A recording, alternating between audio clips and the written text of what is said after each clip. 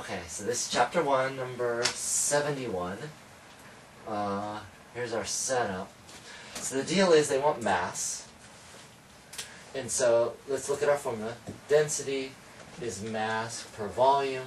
So mass is density times volume. If that was it, we'd be great. We'd be done. The problem's going to be when we start converting the units. So, and they ask for mass in tons. How painful. Okay. Because they're really necessary. Uh, it, uh, the, uh, this is like assumed knowledge as far as you can convert freely. They just want to make it as difficult as possible for you. So yeah, that's the deal. Let's start with the volume. But you can do this a number of ways. The way I'm going to choose to do it, I'll just convert miles cubed to milliliters. I'll multiply by the density. We'll change, so we'll get grams, and I'm going to change grams to pounds, and I'll change pounds to tons. You can do it a different way. That's just the way we'll try it, okay? So, uh, three, if you can do this kind of conversion, you can do whatever. 3.3 times 10 to the 8th miles cubed. Okay. Uh, miles have to start going down to uh, milliliters. Well, the standard way that may, I think of first, uh, most of these conversions you don't need to know. I'll tell you when there's one you need to know. You'll find these like for your exam on the back of the exam. So you just look it up, you write it down. But you need to know how to use it. So in one mile, oops, one mile, 50 to 80 feet. Okay? Now I can't just do that. I have to do one more thing. Cube. Yeah, I gotta remember to cube these. Remember on your calculator, that's the easiest mistake to make on a test or a homework. Don't forgetting to cube these because it's miles cubed. Okay, times feet cubed. Now where do I want to go? Inches. 12, uh, no, one foot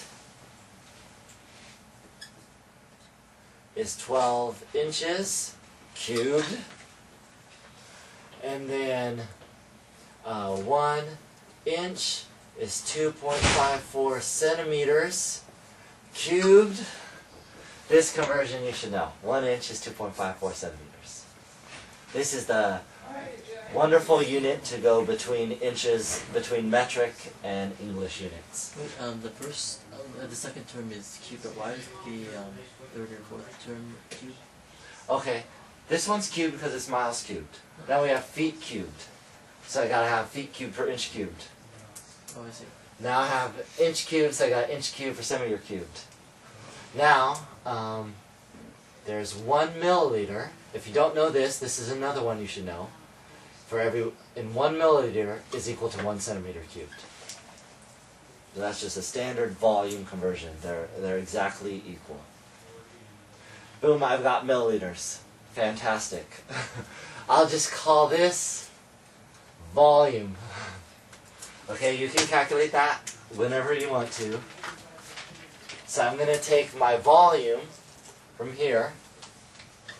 Volume times the density, which is volume times 1.03 grams per mil. And this is going to get me a mass. Okay, I'll just call it M. And that mass is in grams. Uh, now I'd be done, except I have to convert grams to tons. Fantastic. So mass, which is in grams, I'll put G there to remind us. Again, it's whatever this number is, you put it in here. So if that's helpful, I'll put an arrow there. So grams. uh,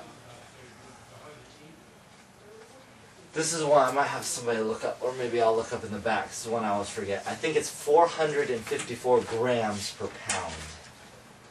Uh, that's right. Okay. It's 454 grams in one pound. So now I'm at pounds. Uh, and then I go 2,000 pounds for every ton. Boom. There's my answer. I'll put a star. it made it to tons. Is that okay? As far as all the conversions or Um, I wouldn't necessarily expect something this painful on the exam, but conversions like this you should be familiar with.